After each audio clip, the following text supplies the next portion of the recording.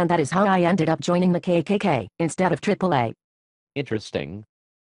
Hi, I'm Hugh Jess, and I'm joined by award-winning feminist author, Mary Hinch. She will be telling us all about the Fawcett Society, but first she has something to plug. Hello Mary, and welcome. Hello Hugh, and thank you. So what are you plugging today? I want to promote a new feminist radio station that I will be a regular DJ on. It's called W-I-I-F-M. What do the initials stand for? What's in it for me? We will use W-I-I-F-M to spread endless lies and propaganda about how women are victims. What kind of music will you play? No music, just endless pissing and moaning from lying feminists 24-7. I'll be sure to tune in. Let us move on with today's show. You want to talk about the Fawcett Society, please explain a little about it. Sure. It's a charity based in London, and they claim to fight for equality between the genders. They have existed for over 140 years, but changed their name to the Fawcett Society over 50 years ago. Equality between the genders sounds like such a worthy cause. It's about time someone pushed for the genders to be treated equally. It is a worthy cause, but the problem is, the Fawcett Society do not care about equality at all. They only claim they do, so they have a cause to hide behind, whenever anyone calls them on their bullshit. Hiding behind a worthy cause sounds exactly like the kind of thing feminists would do. Did the Fawcett Society have anything to do with feminism? Absolutely.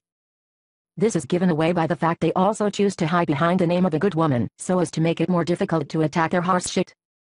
You see, Millicent Fawcett was a suffragette who peacefully campaigned for women to get a vote, so if you attack the Fawcett Society, they will try to insinuate that you're attacking the name of a good woman, when ironically, it is the Fawcett Society themselves who continually dragged her good name through the mud. Where can I find out more about the Fawcett Society? You could visit their website, but I must warn you, it is best to steer clear of their website. Why is that? Because it is filled to the brim with a mixture of bullshit and horse shit, making it very difficult to read anything on the site, as your eyes will be watering most of the time. The smell will also linger in your house for months. Consider me warned. Would you spare us from the stench, and tell us about their website? Of course.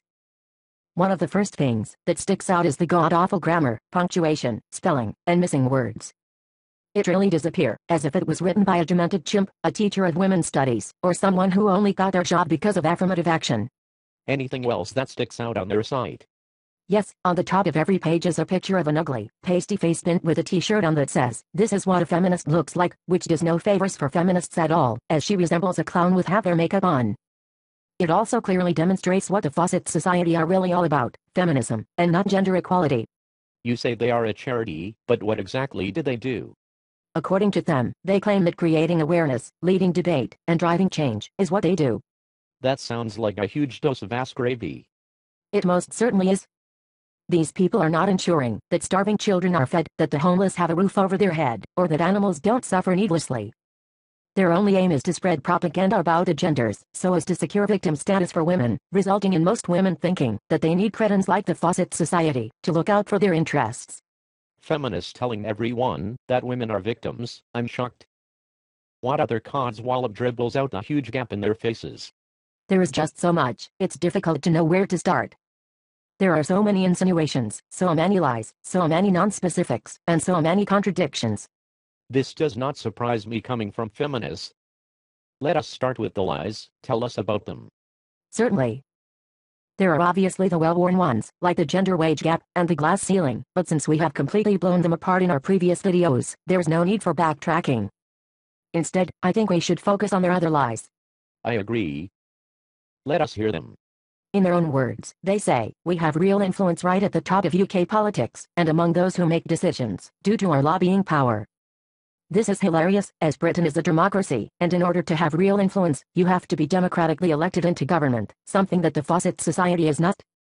What they are really saying is, we are quite loud and obnoxious, so someone in government is bound to hear us. So please give us more money for our company cars. What other lies did they come out with? They constantly claim that women are the real victims of poverty, even going so far as to state on their site, poverty in Britain has a female face, this is obviously utter nonsense, especially when you take into account that over 95% of all homeless people in Britain are men. When the Fawcett Society say poverty, they mean not being able to update to the latest mobile phone every week. And not being able to go out drinking with the girls every night, they do not mean so poor as to have to live on the streets with no food. What a bunch of lying toe rags. What other shit do they spout? They claim that 30,000 pregnant women are forced out of their jobs every year, and they insinuate that the reason they lost their job is because they became pregnant. This stinks to the high heavens of grade A horse shit. You see, out of all employees, a pregnant woman is the most untouchable. She cannot be sacked for being pregnant, or for misconduct, because she will say, it's because she is pregnant, and bring a lawsuit to the company. She cannot lose her job. After having the baby, it has to be kept open for her by law, until she is ready to return. Even if she never goes back, her job must remain available for her to return to. The real story is simple. Lots of women give up work when they get pregnant, because they want to prepare their lives for motherhood, and take it easy, while they are pregnant. Not because they are forced to leave, it's all up to them, the choice is theirs, and of course, the Fawcett Society see women having options as a form of discrimination. What an odd bunch. Any more lies? Here is the beauty.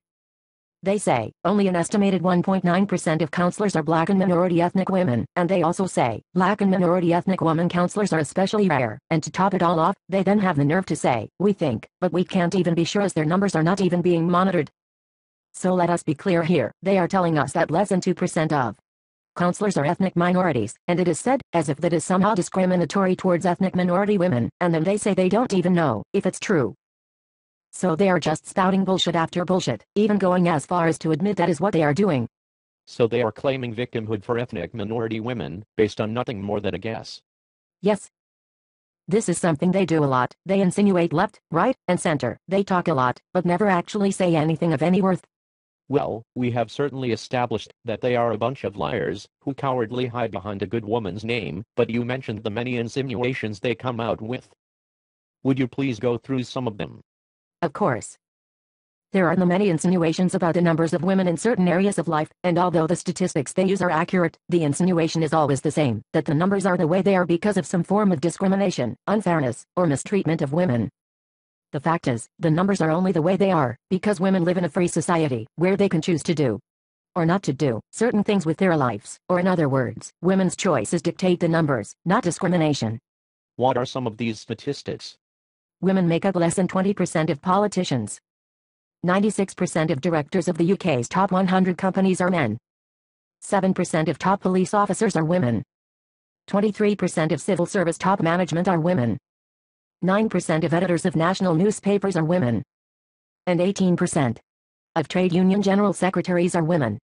If they are all about equality between the genders, then I can only assume they have the statistics for the number of women in other fields, such as garbage disposal, road maintenance, oil rigs, sewage department, building sites, the armed forces, security, and other dirty dangerous work, where they are exposed to the elements, I mean, the Fawcett Society must surely want parity in these jobs as well, because as it stands now, only a very small minority of women work in these areas. Of course they don't want parity in those fields, they don't have any power or influence, and aren't considered top jobs. The Fawcett Society are only concerned about getting parity in the top jobs, as they believe that equality can be cherry-picked, due to their severe lack of intelligence. What other insinuations do the jellyheads at the Fawcett Society use? They say, out of every 100 rape cases reported to the police, just 7 end in the rapist being caught and punished. The insinuation is clear, that over 90% of rapists get away with it, this is evident in the way they say, just 7 end in the rapist being caught and punished, so even though there is not a case for court, in over 90% of reported sex crimes, they still assume a rape must have happened, if a sex crime has been alleged. The fact is, it is 7 out of every 100 allegations of a sexual crime, not specifically rape, that are reported to the police that end in a conviction. 46% of alleged rape cases that make it to court end in a conviction, so that is nearly half of all cases of rape that are worthy of court time, that end in a rapist being convicted, not 7%. Why do over 90% of cases not make it to court? Many reasons. A lack of evidence is one, the severity of the allegation is another. I mean it's not fair to send a man to court for sexual harassment because he looked at a woman. It's not worthy of the court's time. Sometimes the accuser drops out of the justice system by withdrawing their complaint.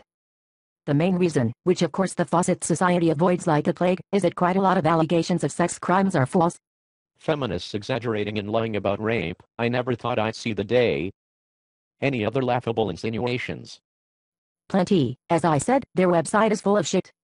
They say the number of women in jail has more than doubled over the past 10 years because the courts are getting harsher, not because women are committing more crime. The insinuation here is that the justice system is harsh on women and getting harsher. To the Fawcett Society, women who commit crimes and end up in prison is proof of a system that treats women harshly. But what they fail to mention is that if women did not want to go to prison, then they shouldn't commit crimes in the first place, you know, the same rules that men have had to follow for years, so much so, they even invented a phrase that covers it.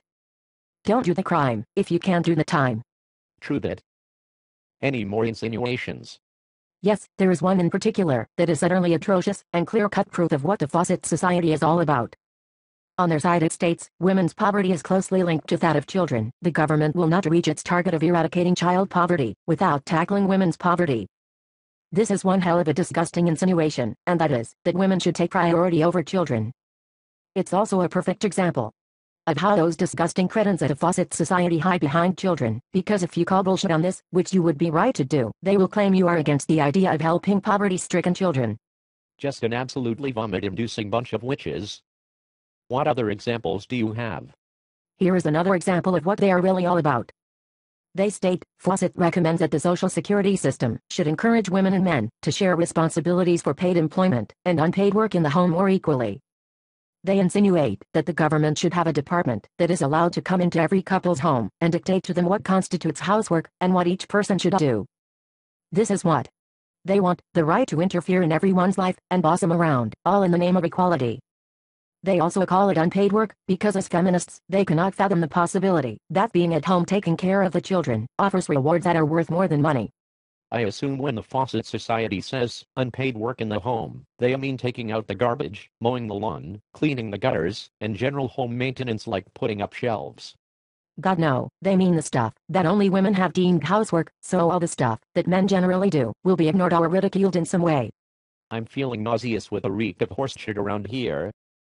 Surely there can't be any more examples. There certainly can. How about when they say, we are still campaigning to make sure women have an equal voice in politics, and wherever important decisions are made? This is insinuating that women don't already have an equal voice, and that they need a Fawcett society to help them attain it. Do women have an equal voice in politics? Yes, it's called a vote, the exact same voice men have in politics. Good point. Any more examples? They state, we particularly found that politicians treat child care as the almost exclusive interest of women, with little or no attention paid to the pay gap, or violence against women. What these morons are insinuating here is that lies, based on wage gaps and domestic violence, should be of higher importance to women than child care. What they fail to take into account, due to their heads being as empty as a hermit's phone book, is that most women put their children as their number one priority, and that most women are intelligent, and therefore could not give a rat's ass about feminist lies and hate mongering. Very true.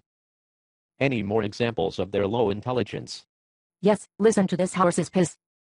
Regarding the last general election, they state, we also kept a close watch on whether the main three UK parties were picking women as candidates, and just as importantly, putting them in winnable seats. Equality between the genders my ass. They clearly want women to cheat their way into politics by being placed in winnable seats.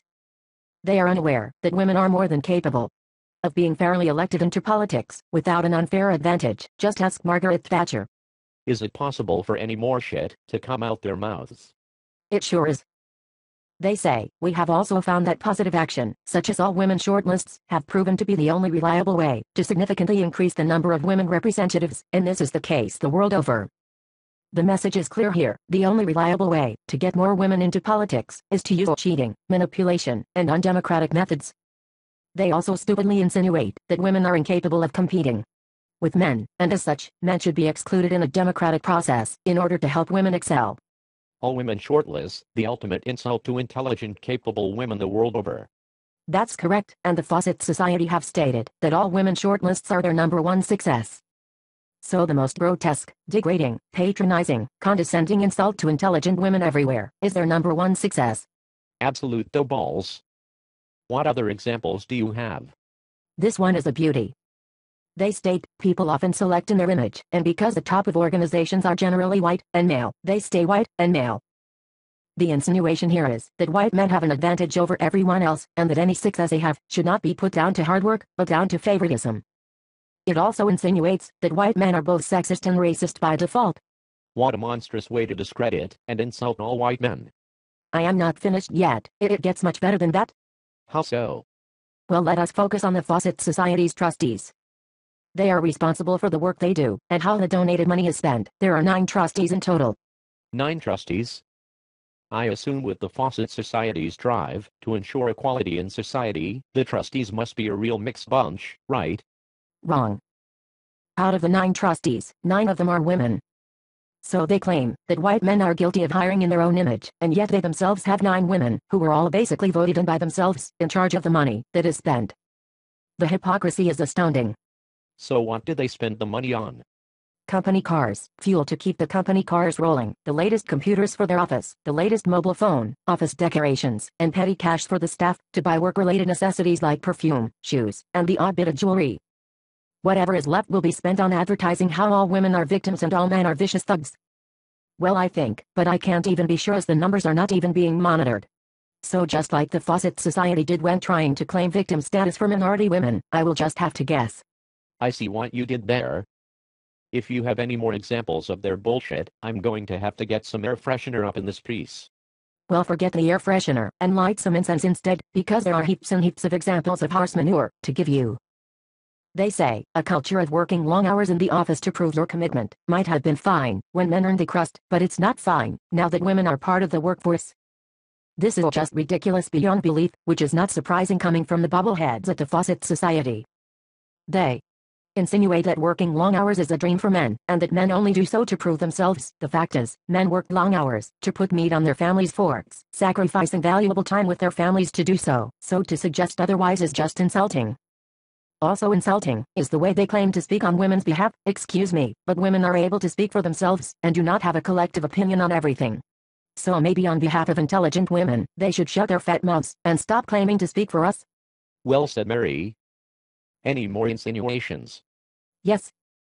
They state, as the number of women in politics increases, matters of importance to women move further up the political agenda. It's like they can't open their mouths without offending women. To say that women in politics look out for women's needs is saying that women are incompetent politicians, as they would only serve women, instead of people in general. I am sure some women in politics are biased in this way. But to suggest they all are is just insulting, and another way of saying people should not take female politicians seriously, or respect them. It could be worse, at least they don't tell women which party they should vote for. How naive of you, Hugh. You see, they state, at the current rate of change, it will take Labour around 20 years to get to 50-50 women and men, the Lib Dems around 40 years, and the Conservatives around 400. So you see, they are telling women loud and clear, vote Labour if you want women to be cheated into government. It's just another insinuation. Are there enough brain-dead women for such tactics to work? Labour were just in power for about 14 years, you tell me. Worrying stuff for Britain, let us move on to the non-specifics you mentioned, please explain them. Sure. They have these plastered all over the website, it's where they say something is happening, usually some side-ass attempt at attaining victim status for women, but they fail to mention any specifics whatsoever. Please give us an example. Sure, they state, social and economic justice remains a distant dream for women in the UK, which is why Fawcett's work is needed as much as ever. If anyone outside Britain were to read that, they would assume all women in Britain are the biggest victims in the world, yet there are absolutely no facts at all, no specifics, they just move on as if what they say is true, and doesn't need explaining. Any other non-specifics? Yes, they say women experience discrimination at work, but again, they do not go into specifics, like what kind of discrimination they experience, they just say it and move on, hoping that most women won't question it, and assume it's true. Any more examples? Sure, they state that the combination of racism and sexism makes black and minority ethnic women particularly vulnerable to poverty. They say this without providing any examples whatsoever, it's as amateur as you can get. It sure is. Any more?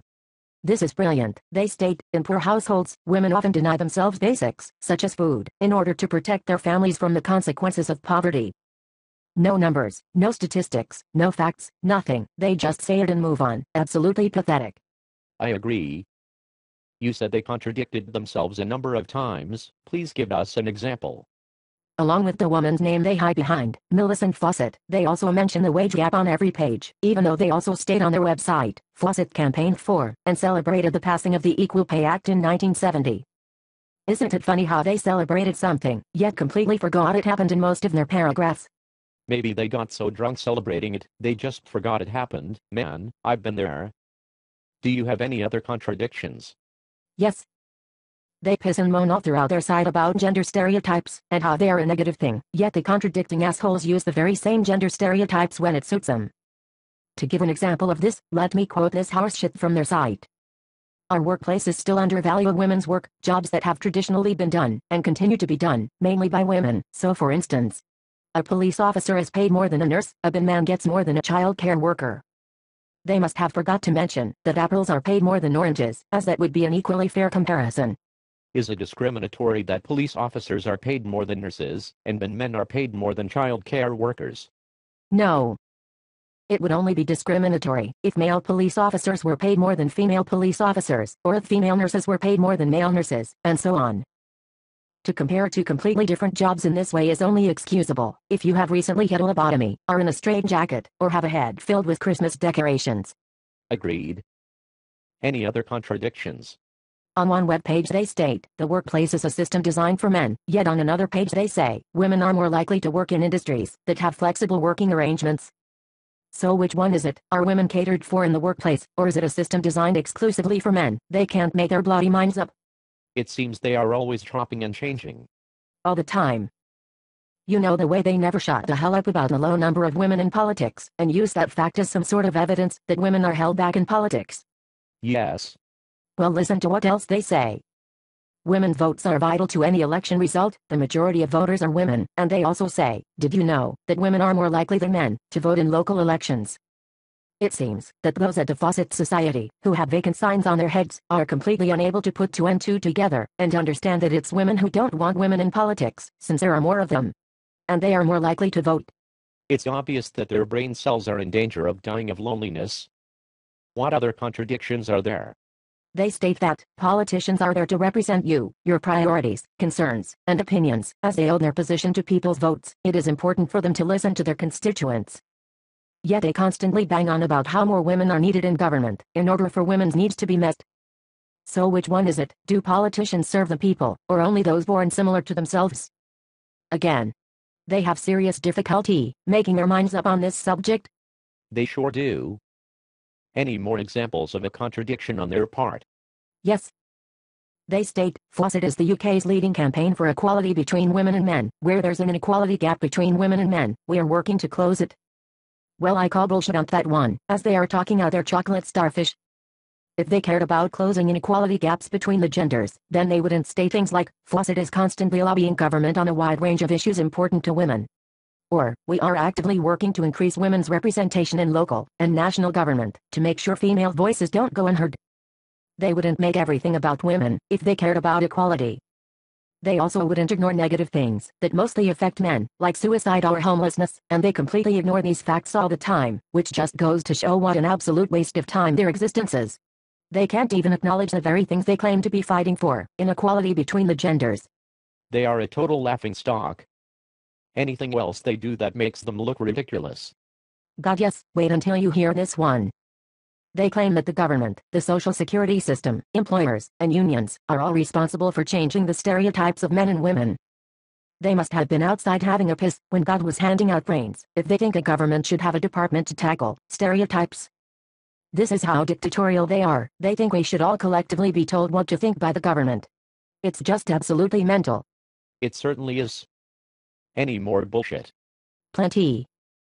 One of their solutions to increase the number of women in top jobs is flexible workplaces for employees at all levels, so that having caring responsibilities does not exclude you from top jobs. This is why a fly inside their head is known as a space invader, as they are so devoid of intelligence, they think women are not in 50% of top jobs, due to having caring responsibilities. They cannot understand that most women don't want to work all the time, they want to be with their family.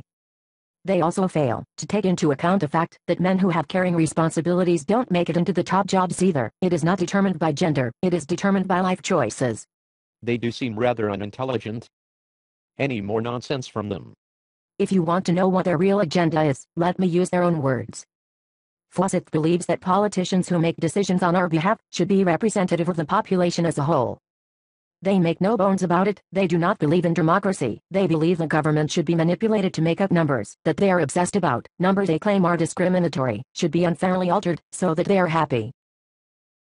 They also state, in particular, we campaign for a greater number of women in politics. Again, this is evidence they do not approve of the democratic, one man, one vote system that has served Britain well for many years. They believe that women should be pushed, forced, manipulated, or cheated into government, as opposed to being fairly elected like their male colleagues. Their attitude reminds me of a little fellow with a square mustache, one ball, and a funny accent, I can't recall his name. Charlie Chaplin. No, I think Chaplin had two testicles. Well Mary, we will have to leave it there, you have certainly done a good job of giving those buffoons at the Fawcett Society a verbal bitch slap, well done, and thank you. Thank you Hugh, it was no problem. Before we go, I have a joke for you. Let's hear it. Why did the men's rights activist cross the road? I don't know. His dick was stuck in the chicken. Until next time, goodbye.